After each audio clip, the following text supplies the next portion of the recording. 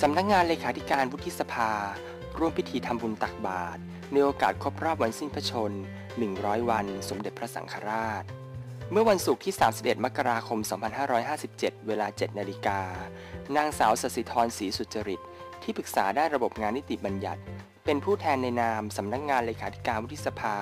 ร่วมพิธีทำบุญตักบาตรพระสงฆ์จำนวน 200 รูป เพื่อถวายเป็นพระกุศล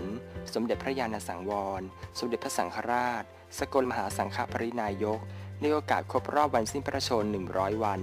ณ ลานคนเมือง ศาลาว่าการกรุงเทพมหานคร